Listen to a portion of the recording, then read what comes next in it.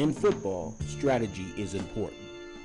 You got to play smart and hard, even when the odds are stacked against you. If you want to succeed, you have to get on the field and fight for every inch. You have to seize every opportunity. Yard by yard, inch by inch, Tigers bring it like no one else.